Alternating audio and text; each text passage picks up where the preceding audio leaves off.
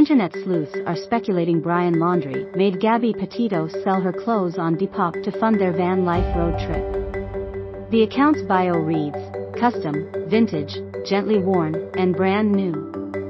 All items, which date back to a year ago, were sold at prices that ranged between $5 to $65, although it is not clear when those sales were made.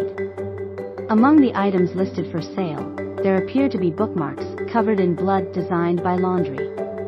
Retailing for $5, the bookmarks came in a variety of designs, some of which feature birds, penguins, and even a shadowed outline of the Marvel Comics character Hellboy, a known favorite of Laundrie's. Another of the designs, titled Chuck Palahniuk Custom, includes a stamp of two angels facing one another over a fountain. Overlaid on top of them is a bright pink lipstick mark.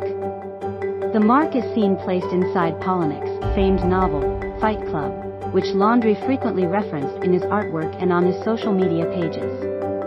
Droplets of blood and red smudges are eerily seen splattered across the book and bookmark.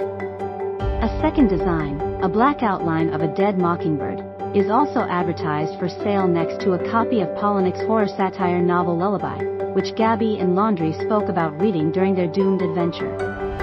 Online detectives believe the couple, who left for their cross-country travels in June 2021, used their earnings to pay off expenses for the trip. In the pictures featured on the site, drops of blood and red smudges appear to have been splattered across the book and bookmark. Online sleuths believe the couple, who left for their cross-country travels in June 2021, used their earnings to pay off expenses for the trip. Bad feelings become violent motifs. Dr. Orna Guralnik, a clinical psychologist and psychoanalyst from New York, analyzed Laundrie's artwork and told The Sun, many people translate difficult feelings that they have inside to violent images. Many people translate bad feelings into violent motifs, she said. Then there can be people in the throes of various mental illnesses that can be kind of bombarded with violent images that are representations of how they feel inside. Laundrie was known to suffer from an anxiety disorder, but has not been officially linked to other mental disorders. Guralnik said that she believes Laundrie killed his fiancée Gabby, revealing the 23-year-old was either extremely sociopathic or mentally ill. The psychologist claimed that Laundrie displayed sociopathic during an encounter with the police in Moab, Utah, following a 911 call about a domestic violence incident between the pair on August 12. He knew how to play with the cops, he knew how to be charming, Guralnik said. Sociopaths are good at reading a certain aspect of their environment and creating a certain kind of ease and creating a certain vibe that helps them get away with whatever they need to get away with.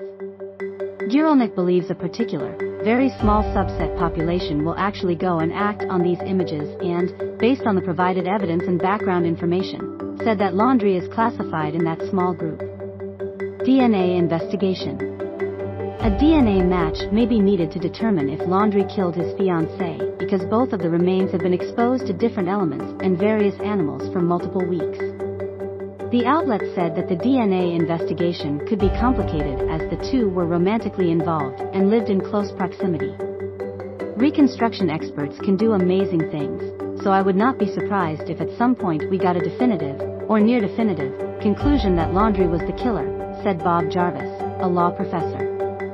Gabby's body was found at the park three to four weeks after she was strangled to death, Dr. Brent Blue, the coroner of Teton County, Wyoming, said. Forensic anthropologists are investigating Laundrie's remains to determine how he was killed.